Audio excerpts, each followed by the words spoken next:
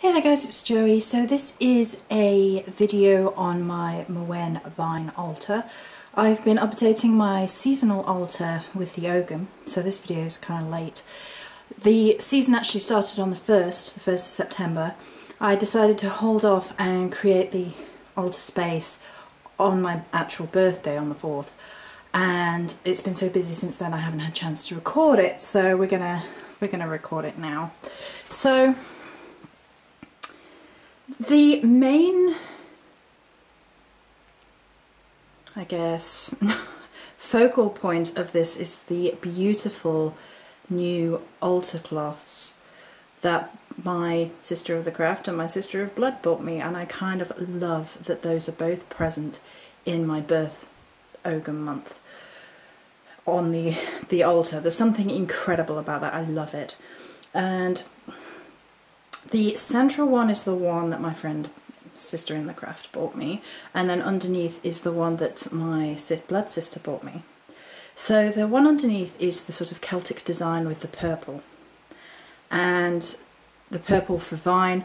I tend to associate vine more with the blackberry vine. If you watch the Ogham videos on, on that subject, there is some push-pull about grapevine versus blackberry vine. But for me personally, given the climate and everything, blackberry vine tends to call to me more because that's what I see in my in my countryside.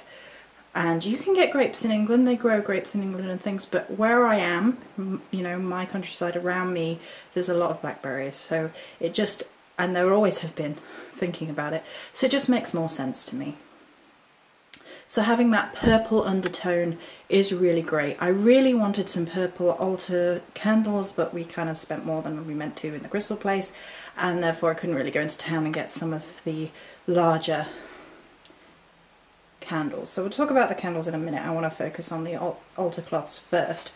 So then we have as a center point this beautiful Irish altar cloth that my dear friend my sister bought me when she was in Ireland and the pattern is of the vine leaf and because of this beautiful pattern and the, the pentagram at the center I didn't want to have too much clogging up that visual and therefore there is a very limited amount of amethyst. Usually there's amethyst all around the bottom of the goddess statue which is at the center however I really wanted you to be able to see that beautiful artwork and the points on the pentagram, those those branches, those twigs, uh, and that's the focal point where the goddesses are, which I love. You know, the, the, the goddess energy, the deity energy is the focal point of the pentagram, which is all about cone of power, balance of elements. I love it. I love that idea. So at the center, as always, is the as I already said, is the goddesses, and there is a blend here of rose petals, blackberry leaf and some rose buds. My uh, dear friend, my other dear friend, uh, included some rose buds for me in my birthday present that she sent and I wanted them present. I wanted that love energy present and so mixing the blackberry leaf for the Ogham itself and the rose and the rosebuds felt right to me. It's very much my month, so my love for my deity, my love for my path, that sort of thing. And as usual, the you know the little birth toadstool, but he's at the front because it's my birth month. And the amethyst in the middle, the spirit spirit quartz amethyst over there, and then a little point of amethyst, and of course the toadstool circle. Fey circle, you know, that, that tripping between other worlds type energy. I love the mystique of fairy rings. And a lot of people are going to go, uh, what? You don't, you don't follow Fey particularly. Well, the, the Celts often uh, are viewed as Fey in modern tellings of the myth. The, as the Christian aspect came through, they were sort of changed into elements of Fey. So I think the energies are quite closely linked. So there you go. And I love how they stand out against this altar cloth. This altar cloth is amazing. So then we have the four corners as usual, earth, air, fire, water and spirit at the back there. And the amethyst is actually limited to four pieces on each corner rather than around the centre as we've discussed and then the point in the bowl. As I think I've discussed that before. The point, quite masculine, is on the goddess side, and the dish, the bowl, is quite feminine, is on the masculine side. And that's because it's the male and the female, and the male in the female, and the female in the male, meaning that all energies are present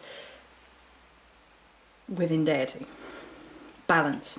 The Morrigan offering bowl and the Morrigan offering dish, and the Morrigan statue. This statue has moved, and once you see my updated Morrigan altar next. You'll know why.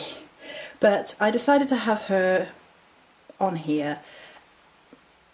It doesn't balance anymore on the other altar and I like them balanced Virgo-y, I don't know, whatever. Um, but she's... she already had a foothold on here anyway, so you know. And then the Goddess Offering Bowl, which I love. The Ogham has actually fallen out of the offering bowl. Come here, you do like to argue, don't you? There you go. And there's the Ogham for Vine. And the fire corner. Right, so in the God corner, we have my, basically my Mabon candles. They're from the Fragrant Temple online.co, thefragranttemple.co.uk online. And I love them. They're really dark and rich with the leaf print on and the spiral sort of Cernunnos image.